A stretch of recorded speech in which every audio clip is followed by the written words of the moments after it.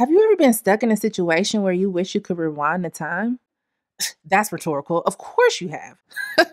Lucky me. Uh, the line is back there. Kiss my Oh me. Well, that didn't work out. Let's try this again.